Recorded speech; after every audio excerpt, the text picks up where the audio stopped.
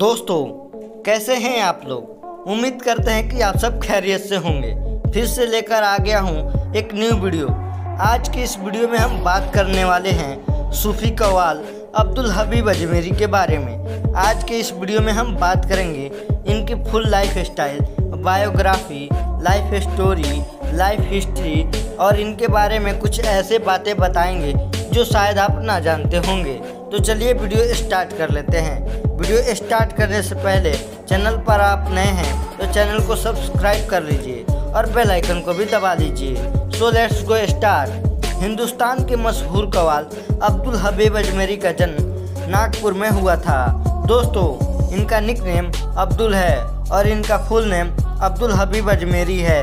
दोस्तों, अब्दुल हबीब अजमेरी कवाल जिन्हें आप सब जानते होंगे, अब्दुल हबीब अजमेरी साहब बहुत जोश भरे और रंगीन कवालियाँ गाते हैं। इतना ही नहीं, दुनिया भर में मशहूर कवाल सुरमी रंग जमाने वाले कवाल और पूरे भारत भर में बेस्ट कवाल हैं। दोस्तों, अब्दुल हबीब अजमेरी एशिया में नहीं, बल्कि पूरी दुनिया भर में फ़ेमस हैं। ताज पिया की जोगन कव्वाली से यह पूरी दुनिया भर में फ़ेमस हो गए और इनकी पहचान बनती गई।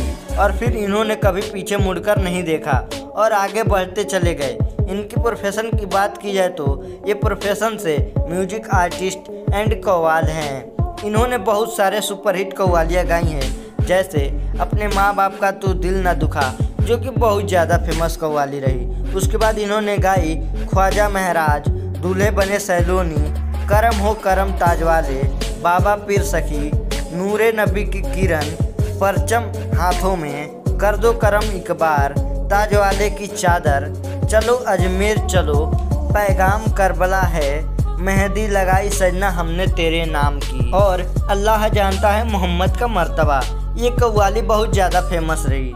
इस कव्वाली को लोग आज भी सुनते हैं, और इस कव्वाली को यूट्यूब पर आठ करोड़ प्लस व्यूज़ आए हैं। तो दोस्तों, आज की हमारी लाइफ स्टाइल वीडियो यहीं पर ख़त्म होती है। इनके बारे में हमें जो भी इन्फॉर्मेशन मिली है, वो हम आपको बता रहे हैं। फिर से मिलते हैं नेक्स्ट वीडियो में।